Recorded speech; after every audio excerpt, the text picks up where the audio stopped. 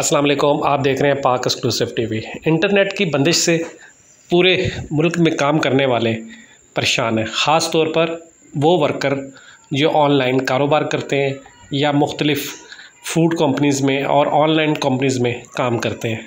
اسی طرح مختلف نیٹ ورک جو ہے ان پر بھی شدید لوڈ ہے اور کوئی بھی ویڈیو جو ویڈیو واٹس ایپ پہ بھی ڈاؤن لوڈ نہیں ہوتی، نہیں چلتی۔ اسی طرح مختلف جو پلیٹ فارم ہے یوٹیوب فیس بک وہاں پر بھی مسائل چل رہے ہیں۔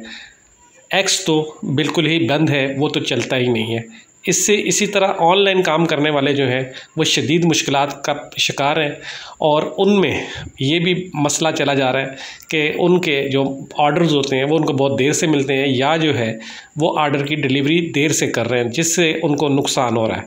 اسی طرح جو مختلف بزنس ہیں جو آن لائن ہوتے ہیں اور جو پاکستانی باہر کی کمپنیز میں آن لائن جاب کر رہے ہیں، ان سب کے لیے مسائل ہے اب اس حوالے سے مختلف خبریں ہیں۔ ایک یہ ہے کہ حکومت فائر وار لگا رہی ہے، اس کی ازمائشی ٹیسٹ اور چل رہی ہیں، جس سے مسئلہ ہے۔ دوسری طرف جو ہے، رانا سناولا نے کہا کہ نیٹ ورک جو کمپنیز ہیں مختلف، ان کو بھی پوچھنا چاہیے کہ ان کے نیٹ ورک پر اس طرح کے مسائل کیوں ہیں۔ لیکن یہ ایک بہت مسئلہ ہے۔ اس پہ اور لاہور ہائی کورٹ میں جو ہے، وہ کسی نے کیس بھی کیا ہے اور اس پر بھی ہائی کورٹ نے جو ہے، وہ حکومت سے موقف لیا ہے۔ لیکن نیٹ ورک کا جو ایشو ہے، وہ بہت زیادہ بڑھ رہا ہے۔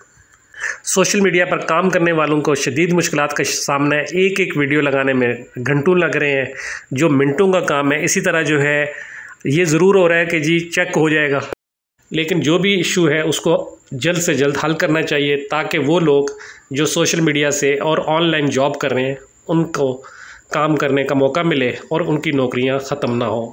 آپ دیکھ رہے ہیں، Pak exclusive T V social media ہو، اس پہ شدید مشکلات کا شکار ہیں تمام لوگ۔